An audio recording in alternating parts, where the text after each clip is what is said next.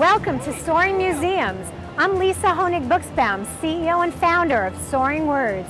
We're at the MoMA, the Museum of Modern Art, in the center of New York City. Why would 55,000 people come to New York City and wait online for five hours to get rained on? Hi, what's your name and where are you from? I'm Nicole. I'm from Brooklyn How long have you been waiting online? for almost nine hours. Nine hours. Yeah. You think it's going to be worth it? Yeah, definitely. I did some research, so I knew it was going to be a long time. Hi, I'm Olivia. I'm from Rockland County, and we've been waiting on this line for nine hours. Dave, Rockland County, the dad.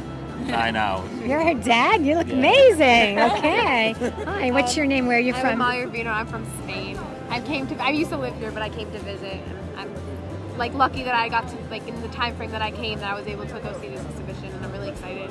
Hi, uh, I'm Ike. I'm also from Taiwan, and yeah, we've been here like since like six six o'clock this morning. It's crazy, but like, I think it'll be worth it. Excellent. Have fun inside. Thank you. Let's go inside and see what all the excitement is about.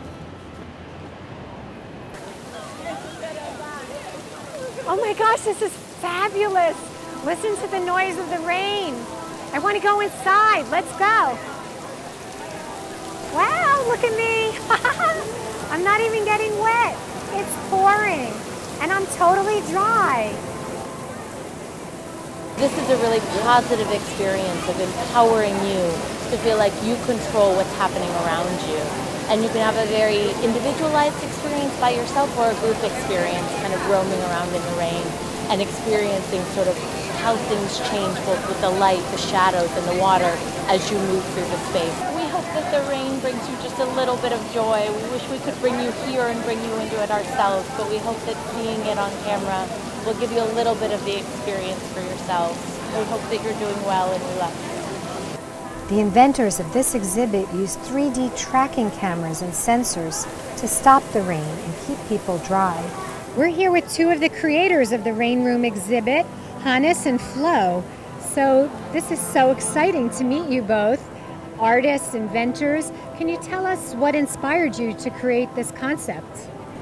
the first thing was an idea of a fantasy or a vision of how incredible it must feel to be immersed in a rainstorm yet be protected from it somehow the, the multi-sensory experience and the idea was strong enough i guess to, to for us to follow it through to really figure out how we can do that how we could make something create something that would offer us that experience Yeah, that was like a three, four year process from starting very small, how to make one raindrop, like how high the ceiling needs to be. How high does the ceiling have to be to make one perfect raindrop? We're here, we're, we're like at six at six meters, and that's that that gives you about three quarters of the velocity of the final velocity that rain has. So we're getting we're getting pretty close, close enough. kids, smaller children, they don't perceive rain as annoying. They just run out, get soaked. I remember it as a small child, you know, in a rainstorm. It was awesome. You don't care if you get wet or, or not. It's something which do the, the older you grow, the more you try to be in control. You don't accept it as a natural thing or surrounding you. You you fight it. You take an umbrella or you run for cover, and you see it in the rain room as well. Kids just look up, they don't really understand or trust the system, and they just run to have the actual getting soaked experience. And uh-huh. it's beautiful to see. And then some assume that they have magic hands suddenly because it stops where they are when they stand still and so on. So it's a, it's a very engaging um, relationship between a natural phenomena and the actual person. You see all the different characters, like how kids approach it and what they do inside and how they how they get wet. Weather is an interesting barometer, a reflection on our feelings and attitude. Some people love it when it's warm and sunny outside. Other people can't wait to get inside by the air conditioning or fans.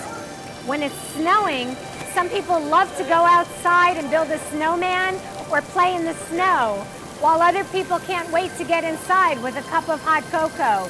It's the same thing with rain. I love rain. The pitter patter sound, The feeling of a gentle rain on your umbrella, watching a rainstorm inside, and knowing that it's pouring rain when you're under the covers. Being inside during a rainstorm can make you feel cozy and safe. Sometimes I like to go for a walk in the rain. Like the weather, there are some things in life that we simply cannot control, but we can take strength and comfort by learning how to control our reactions. We can learn to appreciate the positive moments in every situation, like a smile from a teacher or a nurse, or a kind word from a stranger, or the opportunity for you to do something kind for someone else each and every day. This reminds me of the famous saying that every cloud has a silver lining. This adage invites us to find something good in each situation. Rain can feed and nourish plants and even people. So even though it's pouring all around you, you can stay positive, sunny, and hopeful inside. Rain and water are rejuvenating and give you a lot of energy. Water is life. Did you know that 50% of our bodies are made of water? Let's use the rain to remind us how to grow more positive and to replenish positive feelings each day. Let's do some soaring visualizations together. It's fun and easy to do.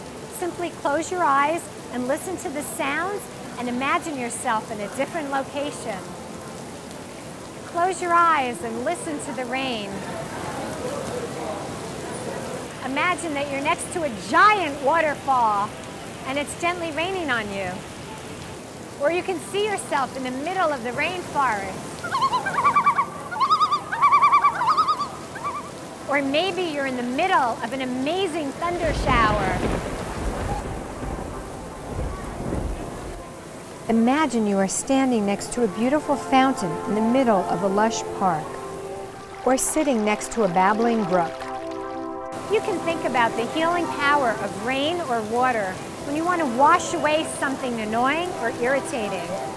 Doing these healing visualizations can help you find the calm within the center of the storm. When you focus on these healing visualizations, you can relax and take yourself a million miles away to wherever you want to be. Scientific studies show us that doing these healing visualizations create instant changes in our bodies. Our breathing and heart rate slows, adding to our sense of relaxation and healing.